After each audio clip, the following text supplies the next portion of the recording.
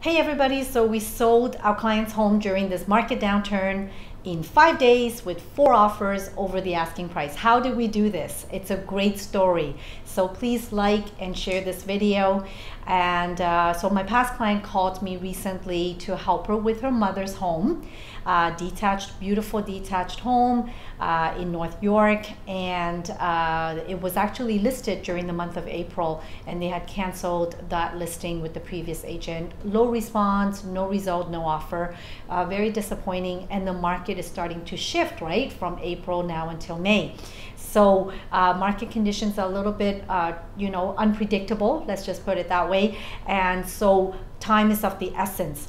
We quickly went over there, did all of our research. We were super well prepared, very thorough analysis, exactly what is happening in this neighborhood and what are prices like, what are, you know, what type of buyers, who are the ideal uh, home buyers for this kind of home. We did all of that analysis we took the time to really clearly explain everything to our client so that she understood and was able to relate exactly to what is going on and what is the current market conditions, setting expectations around price, time, and, and, and how to show the home as well. So believe it or not, we got the home on the market in less than two days. All of the marketing, it was live. We got an offer on the first day we got a second offer on the second day and the price was just not good enough right? Because right now in this market a lot of home buyers are trying to do kind of lower offers. They're testing the motivation they're trying things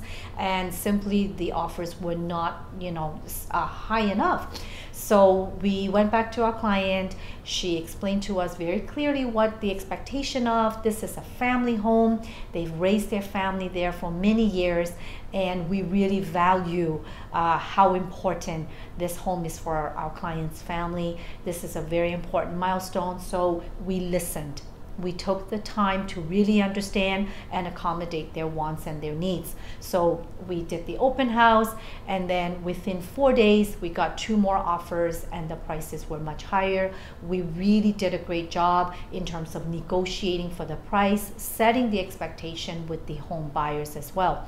So my team member Faraz outstanding. He really, really did an, a phenomenal job in terms of communicating with the clients, communicating with the other real estate agents and buyers, and negotiating in order to get the very top value for this home. So again, great story, and it really adds to our track record always of negotiating the top, top price for our clients and also really, really quick in terms of uh, getting results as well for our clients too. So uh, we got a awesome five-star review from our client and you can see that on Maria Homes when you just uh, Google Maria Homes and you'll see that.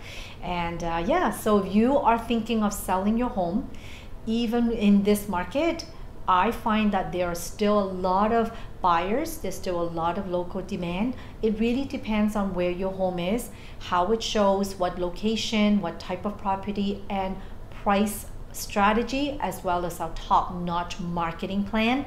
And of course very very strong negotiation skills as well. Those are the key ingredients to get you the best top price for your home. So contact me if uh, if you would like you know to discuss and uh, your particular situation. And if you have any questions i'm happy to meet with you and sit down with you and help you with your move